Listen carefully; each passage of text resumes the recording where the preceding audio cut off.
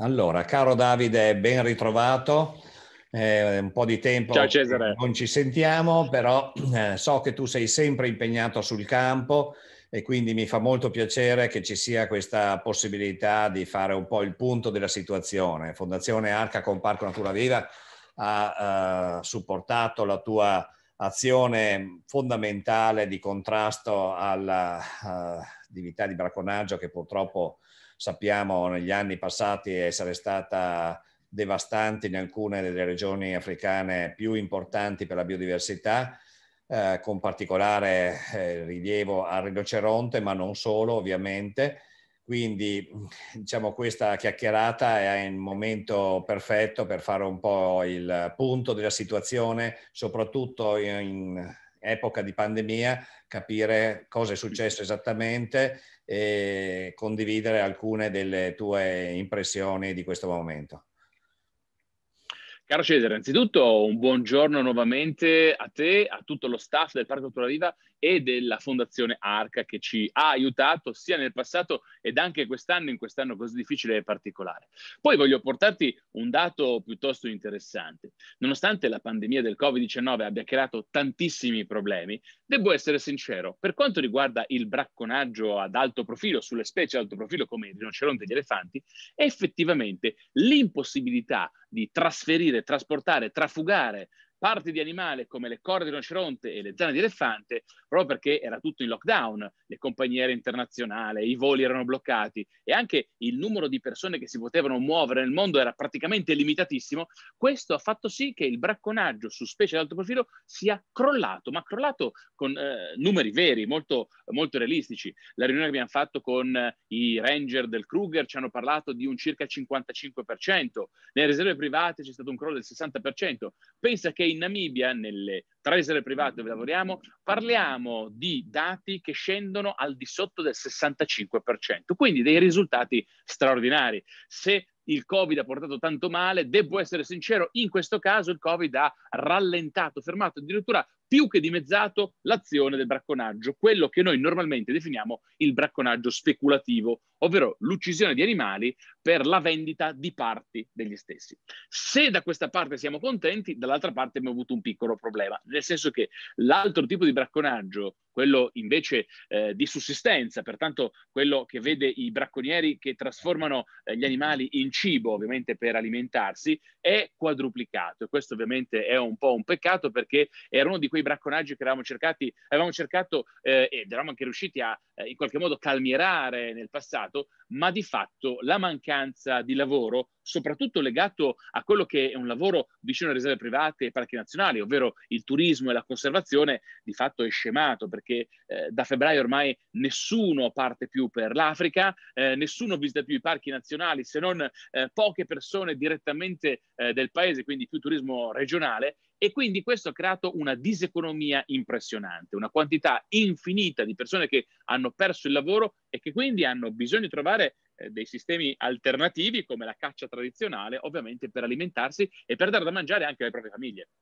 Ecco, dobbiamo ricordare chi ci segue che la filiera, diciamo così, di tutta la, l'industria del turismo anche nei paesi africani legati alla fauna selvatica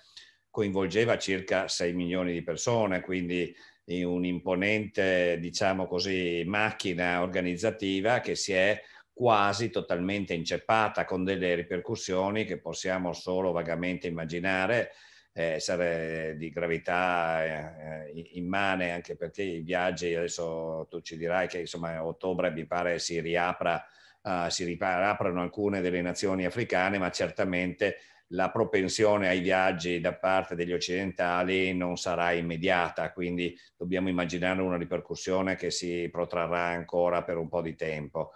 Eh, senti Davide, ehm, dunque, innanzitutto insomma, ricordiamo sempre a chi ci segue che mm, i rinoceronti sono una delle, delle specie un po' sentinella di quello che è lo stato di malessere della, diciamo così, della biodiversità in quella che molti hanno considerato la sesta estinzione di massa. Uh, rinoceronte, tra l'altro,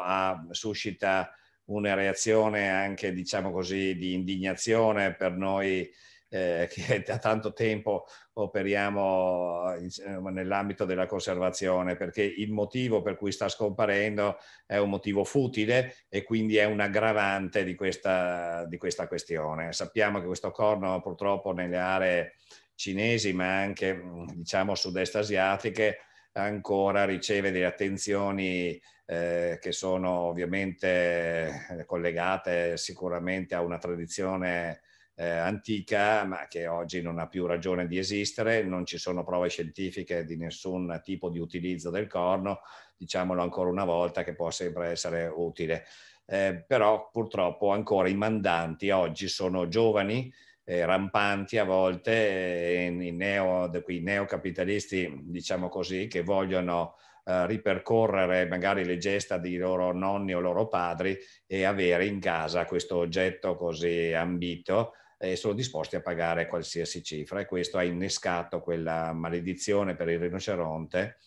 che diciamo anche questo Davide non può essere disinnescata semplicemente segando il corno di rinoceronte e rispedendolo in savana. Quel, quel corno uh, non è stato messo lì dalla selezione naturale per caso, è uno strumento che si è rivelato fondamentale per la difesa dei piccoli, fondamentale anche addirittura per eh, la, diciamo, il controllo degli ectoparassiti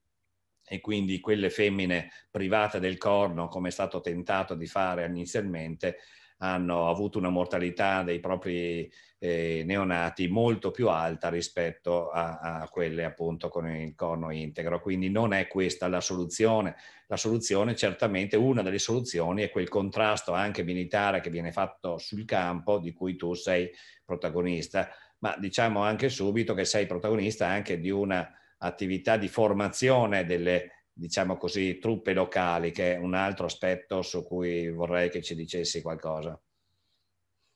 Guarda, caro Cesare, del 2020 ti posso raccontare poco perché dobbiamo essere sinceri, siamo rimasti anche noi bloccati in Italia. Ma nel 2019 abbiamo fatto cose straordinarie. Eh, siamo stati all'interno del Parco Nazionale Kruger a fare formazione ai ranger. Addirittura eh, questa attività nata addirittura nel 2018 ci ha portato effettivamente ad essere stati scelti per poter selezionare ed inserire proprio in una porzione del Parco Nazionale Kruger un'unità privata, la prima nella storia del Parco Nazionale, che si occupa della tutela e della difesa di un territorio interno a quelli che sono di fatto i bordi del parco. Siamo stati presenti nel Parco Nazionale del Pilanesberg, un parco famosissimo, il secondo per numero di visitatori di tutto il Sudafrica, dove quando siamo arrivati lì eh, cinque anni fa eh, avevano già ucciso 72 rinoceronti e di fatto abbiamo portato il numerico a solo più 12 del 2019. Ed ovviamente non dimentichiamoci le attività che abbiamo svolto nelle riserve private e addirittura un'attività fondamentale proprio in Namibia,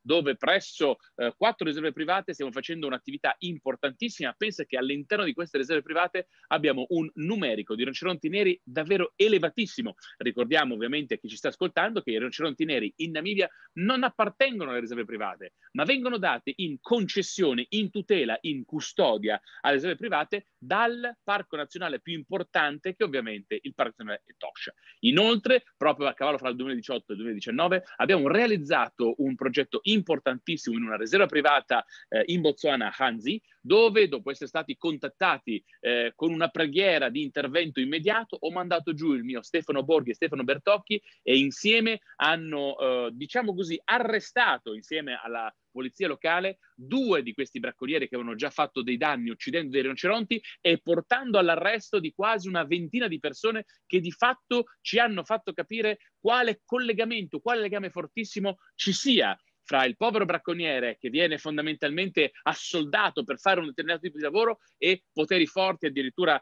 eh, banchieri, e fino anche ad arrivare a delle ambasciate, ovviamente cinesi. Eh, nel 2020 eh, avremmo dovuto fare una serie di attività molto importanti, una delle quali eh, mi fa piacere citartela. Ad aprile dovevamo partire andando nella zona del KwaZulu-Natal, praticamente nel sud-est del Sudafrica, ad andare ad addestrare le unità speciali antibracconaggio, quelle dedicate proprio alla protezione dei rinoceronti, in due parchi straordinari Uno famoso, ovviamente lo Shushuè Unfolosi, dal quale tantissimi rinoceronti sono stati presi per fare dei ripopolamenti in zone molto importanti. Ed ancora, questo lo voglio ricordare, Isimangaliso, che eh, in qualche modo ha un legame anche con Verona, perché Isimangaliso è un parco eh, protetto e eh, mh, supportato dall'UNESCO, esattamente come la bellissima arena di Verona, molto vicino al Parco Natura Viva. Queste erano tutte attività che avremmo dovuto fare nel 2020, le abbiamo solo di fatto messe in pausa,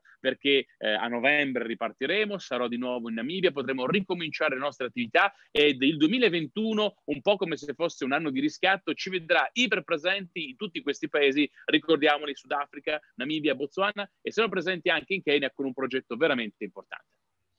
Il circuito europeo di cui noi facciamo parte, eh, ovviamente tutti i nostri animali, compresi i due rinoceronti che oggi custodiamo con grande attenzione qui a Bussolengo, um, diciamo, sono riusciti questo circuito, uh, diciamo con, anche con il nostro piccolo contributo, a raccogliere circa mezzo milione di euro in una campagna specialistica sui rinoceronti. Eh, il nostro circuito raccoglieva fino al 2019 eh, oltre 60 milioni di euro nella conservazione eh, nei luoghi d'origine, quindi diciamo un ottimo risultato che, metti, che diciamo così, alla luce di quello che è successo dà un'idea che non può essere solo il turismo a tenere in piedi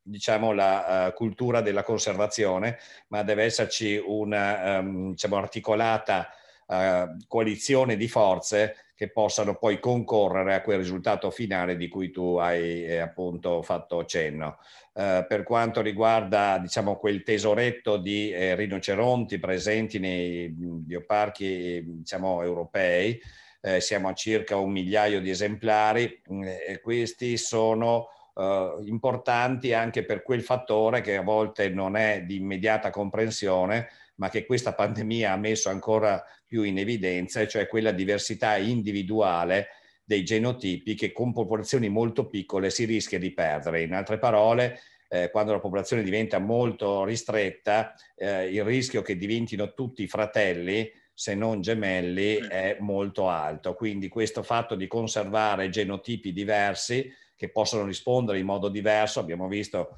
che la pandemia insomma, può colpire letalmente alcune persone, altre addirittura essere solo asintomatiche senza neanche presentare alcun tipo di sintomo. Quindi diciamo, ci fa capire che la diversità tra di noi, tra individui, è altrettanto importante della uh, diciamo, conservazione della specie nel suo complesso. Ecco, diciamo, oltre a questi temi della conservazione, è utile, l'hai sfiorato nel tuo intervento, eh, Davide, e cioè quello della sensibilizzazione pubblica. Di fatto eh, anche il lavoro che stiamo facendo adesso ha questo fondamentale obiettivo di cercare di far capire che la difesa del rinoceronte, in questo caso come emblema, eh, altro non è che il tentativo di mantenere quegli ecosistemi in equilibrio, essendo poi la salute umana molto legata alla salute degli ecosistemi stessi. Come ti sembra che ci sia mh, stata, diciamo così, in Africa mh, come, come diciamo, aumento della sensibilità? Ti sembra che ci sia un'evidenza che oggi anche le nuove generazioni di ragazzi africani eh, capiscano il valore della fauna selvatica in sé o cosa pensi? Guarda Cesare, una cosa che abbiamo notato e siamo rimasti veramente soddisfatti di questo è che le popolazioni locali, se messe di fronte a una scelta fra avere un lavoro onesto che possa portare loro una buona economia oppure un lavoro difficile come quello del bracconiere, sicuramente scelgono per empatia quello di fare una vita semplice. La cosa importante, e questo lo ripeterò sempre, è fare in modo che eh, anche l'Occidente si renda conto che noi dobbiamo aiutarli concretamente e il modo per aiutarli è il più semplice possibile, cioè dare un valore all'animale vivo che sia superiore al valore dell'animale morto. Come fai a fare una cosa del genere? Nel modo più semplice, viaggiando, visitando i parchi nazionali, eh, rimanendo, permanendo nelle riserve private. In questo modo possiamo dare un concetto vero, concreto, eh, molto, eh, molto sensibile a quello che è eh, l'attività legata alla conservazione. Se io posso avere qualcuno che ha un lavoro come il cameriere, la guida, il ranger o anche semplicemente la persona che porta magari le bibite tipo la Coca-Cola da un luogo a un altro, sto dando opportunità di lavoro e il lavoro dà la possibilità ai più giovani di studiare e di imparare, di migliorare le proprie competenze e quindi la propria posizione sociale. Facendo questo, andando nelle scuole, una delle attività che facciamo anche in Italia, tu sai bene che in questi giorni il rinoceronte che normalmente sta lì da voi, la statua del rinoceronte che si chiama Leo, è in giro per l'Italia. Siamo stati a Brescia in un centro commerciale dove c'era tantissima gente, tantissimi bambini sono venuti a farsi eh, le classiche fotografie, tanti adolescenti con il classico selfie. Questi bimbi facevano la domanda, dicevano ma perché li uccidono ancora? E questo termine ancora, questa parola ancora, a me è piaciuta tantissimo perché di fatto è proprio l'idea che i bimbi dicano ma ancora adesso, nonostante tutto quello che abbiamo, ancora lo fanno. Ebbene, quello che noi abbiamo come occidentali, come europei soprattutto, ci ha insegnato che il vero valore della natura non risiede in quanti soldi posso fare con lei, ma risiede nel piacere degli occhi e nella passione del cuore, nel vedere un animale che esiste, che solca la terra praticamente molto prima dell'arrivo stesso dell'uomo, che è stato portato quasi a rischio di estinzione per credenze, dicerie, stupidaggini che la scienza stessa ha demonizzato e soprattutto ha screditato con grande forza. Oggi vediamo che i giovani africani si sono un po' stufati di questa idea un po' delinquenziale del bracconaggio. Se un tempo il bracconiere portava un po' di soldi e fondi alla comunità, oggigiorno le persone si rendono conto che chi fa la guida, chi fa il ranger, chi fa il conservazionista o in generale chi lavora nei parchi e nelle riserve è il vero eroe, è la vera persona che porterà il futuro nelle loro comunità per loro, per i loro fratellini e in generale per quello che è la comunità appunto delle popolazioni che vive intorno ai parchi e alle riserve naturali. Aggiungo questo che mi fa molto piacere, abbiamo notato proprio in questi giorni, in questo momento Leo Rinoceronte si trova ad Ivrea, all'interno del municipio, del palazzo municipio, ci sono state oltre 200 visite negli ultimi due giorni di scolaresche che sono arrivate perché le maestre hanno voluto parlare del problema del bracconaggio, le maestre hanno voluto parlare di ambiente e uomo. Eh, perché ricordatevelo sempre che è impossibile eh, scindere il concetto di eh, problema fra uomo e animale eh, dividendo i due elementi. Bisogna metterli insieme. Per trovare una soluzione a qualsiasi conflitto uomo-animale, dobbiamo trovarla insieme, in comunione di intenti. Gli uomini risolvono i problemi con gli animali, gli animali possono diventare uno strumento fondamentale per la vita degli uomini. Ricordiamocelo sempre, questo è importantissimo. Ecco, per eh, diciamo, dovere di, di cronaca, come dicono uh, i giornalisti, eh, è giusto informare che oltre all'Africa i rinoceronti sono presenti in India e nella, nell'Indonesia e addirittura diciamo, proprio il, quelli indonesiani sono i più eh, rari ormai rimasti al mondo. Qui si parla di poche decine eh, di esemplari, una settantina a Java e qualcosa di più a Sumatra. Quindi siamo, siamo in condizioni limiti. Ho avuto la personale esperienza Uh, di partecipare a un progetto nel Parco Nazionale del Kaziranga che è nel nord-est dell'India dove un uh, centro di riproduzione dei rinoceronti indiani che tra l'altro per, diciamo così, per estetica sono quelli più riconducibili alle specie arcaiche, hanno proprio una, una forma uh, incredibilmente vicina a specie antichissime. Bene, eh, questi sono stati addirittura bracconati all'interno del centro di riproduzione, quindi mm, eh, questo per farvi capire che la situazione eh, grave non è soltanto nell'Africa, ma purtroppo abbraccia un po' tutto, tutto il mondo e i rinoceronti sono perseguitati perfino nei parchi zoologici dove eh, vicino a Parigi è successo proprio un episodio di bracconaggio all'interno in tempi molto recenti.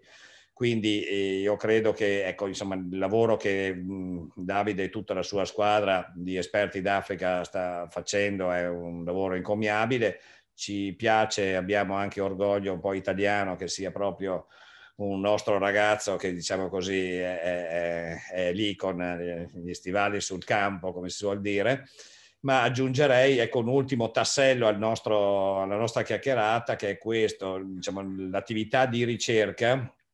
di ricerca scientifica, conosciamo sempre poco delle, della fauna selvatica e quindi la ricerca scientifica eh, quando insomma serve per conservare le specie, è una ricerca che deve aiutarci in questo senso e ci ha aiutato molto in questo senso. Oggi si sta sperimentando anche la fecondazione artificiale perché i rinoceronti soffrono anche di una bassa fertilità e forse questo può uh, dare un, un, aiuto e addirittura far tornare una delle, dei genotipi che avevamo perso, che era questo rinoceronte bianco del nord, eh, ormai mh, ridotto a, all'estinzione, ma per fortuna eh, un, un, paio di femmine sono rimaste in uno zoo della Repubblica Ceca eh, che eh, hanno deciso di donare all'Africa, per cui sono tornate in Africa e lì si sta pensando appunto di sperimentando, non pensando, sperimentando la fecondazione artificiale per vedere se riusciremo ad avere ancora dei piccoli di rinoceronte bianco del nord. Uh, un ultimo aspetto della ricerca interessante, per esempio, è sulla loro diciamo, composizione sociale, perché per molti rinoceronti sono stati animali dipinti spesso come animali solitari in cui insomma,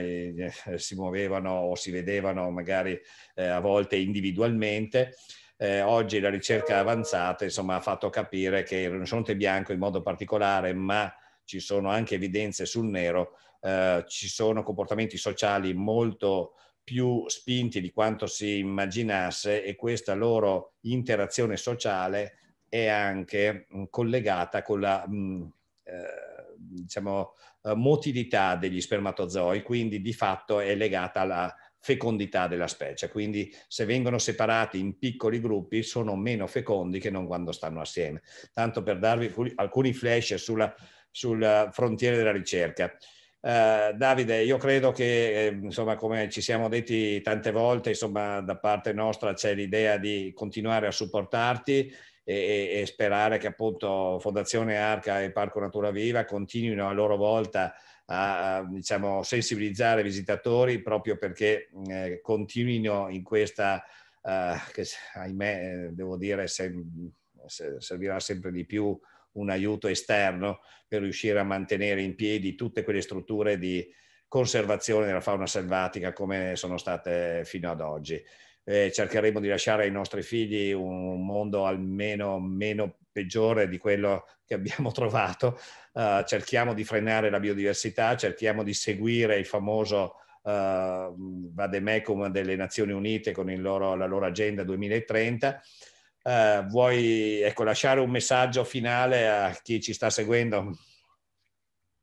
Con grande piacere. Da una parte, Cesare, devo essere sincero, noi pensavamo che il turismo, rimanendo come, diciamo così, forza trainante principale, in qualche modo ci avrebbe aiutato. Eh, con il Covid il turismo ha tolto di fatto i fondi ed ecco perché, eh, grazie proprio anche alla Fondazione Arca, al Parco Natura Viva e ai tanti supporter che ci hanno aiutato nell'ultimo periodo, siamo riusciti, nonostante ovviamente le difficoltà, a sostenere economicamente questa primissima unità antibracconaggio privata dentro al Parco Nazionale Kruger che a noi come associazione costa, pensate, 3.200 euro ogni mese. Ma ormai da tanto tempo riusciamo a eh, sostenere questo costo proprio grazie a chi magari in questo momento ci sta ascoltando ed ovviamente la Fondazione Arca che di fatto ha pagato eh, metà di un mese completo per eh, le nostre unità. L'altro messaggio che mi sento assolutamente di dare a tutti e di dire a tutti è quello che vorrei ricordarvi che la natura su questa terra non ci è stata regalata dai nostri genitori,